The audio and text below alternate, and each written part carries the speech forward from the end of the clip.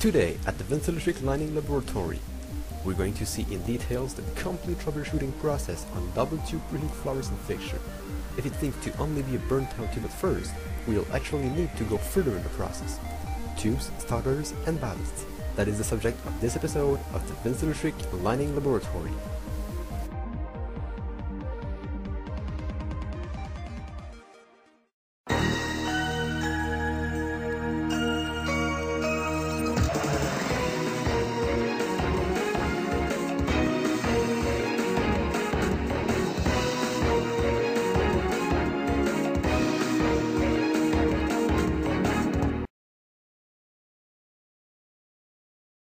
Fluorescent tubes have been created almost a century ago. However, the fluorescent tube we know today, technically called a hot cathode tube, has been developed in the mid-30s and introduced in North America in 1938. Early fluorescent fixtures used a starter to electrically preheat the cathodes before opening, which generates a high voltage inductive kick that starts the tube. This circuit, known as the preheat circuit, is still in use today in numerous applications especially on 20 watts and smaller tubes. Burnt out tubes on a preheat circuit will either blink endlessly or eventually completely stop working. Leaving a burnt out tube in a fixture may also lead to fail of other parts. That is what we're going to see. You can see here that one tube is completely out. Let's see what's wrong. The first thing to do is to try relamping. To do it, we will remove the whole tube by turning it in one way or the other.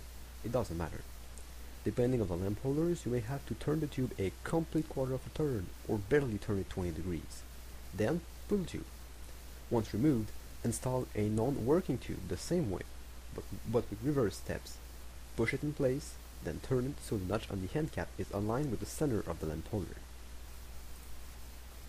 Hmm, looks like the tube was not the only defective part. Then we'll need to remove the cover in order to access the starters and ballast, both of which could be defective. After the tubes have been removed, remove the cover. Many cover designs exist. On my fixture, I need to pinch the cover to unlock it. So, now we see the ballast, the starters, and the lamp holders. As I don't know which starter goes to which ballast and which lamp, I need to turn back the power, remove one starter, and install a tube.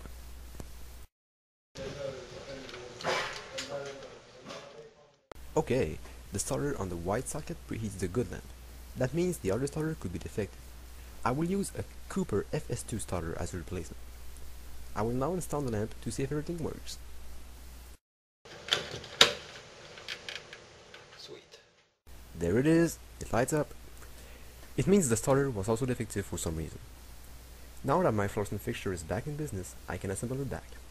That part isn't very hard. If you figured out how to remove the different parts of your fixture, you should be able to install them back with no problem.